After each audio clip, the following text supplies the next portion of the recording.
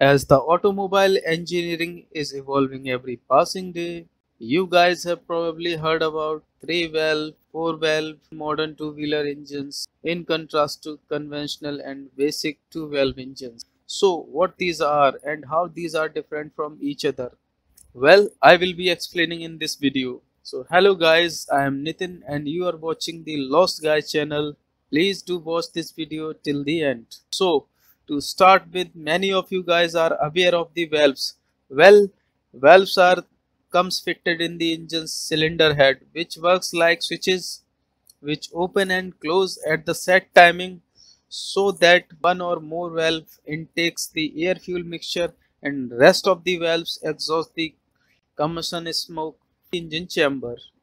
Guys generally commuter bike comes equipped with basic two valve mechanism but in the past few years, two-wheeler makers have evolved and have come up with the three-valve and four-valve engine with their bikes, even in the commuter segment bikes. Well, let's come to the point. Guys, I have divided these engines in three categories on the basis of number of valves. So the very first one is very popular, very conventional or two valve engines. Well, in this type of engine there are two valves out of which one is used to intake the air and the other one is used to exhaust the combustion smoke. This is the simplest form of the engine being used in the uh, motorcycles and scooters. Well, the second one is three valve engines. This is the newest technology. In this, there are three valves present in the cylinder head out of which two are used to intake the air and fuel mixture and one is used for exhaust. Well, in contrast to single intake valve, two intake valve allows greater amount of air which helps in better combustion of air fuel mixture resulting in enhanced engine performance like better mileage, increased throttle response, increased power figure. Well, the last one and the third one is four valve engines. In this type of engines, there are four valves are fitted in the cylinder's.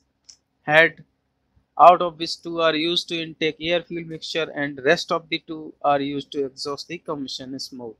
Well guys these type of engines are most superior of, of all these engines but are bit complex in mechanism. Also comes with greater maintenance cost.